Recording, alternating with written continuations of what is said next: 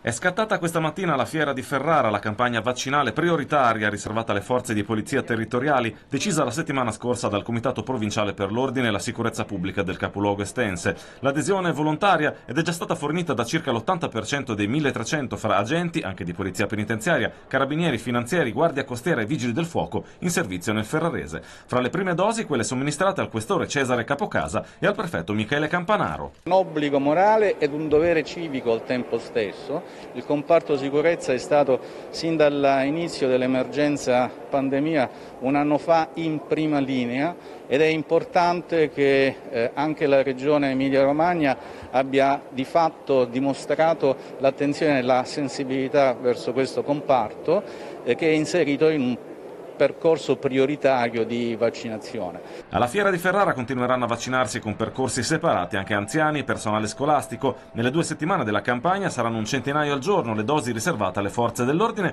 dall'azienda sanitaria locale, che ha attrezzato anche un altro hub per l'arma dei carabinieri, inaugurato oggi a Cento. Si parla di persone che sono a contatto eh, quotidianamente sulla strada a svolgere il loro lavoro e quindi diventa anche importante poter dare una copertura e iniziare a fare questo tipo di percorso anche con le forze dell'ordine.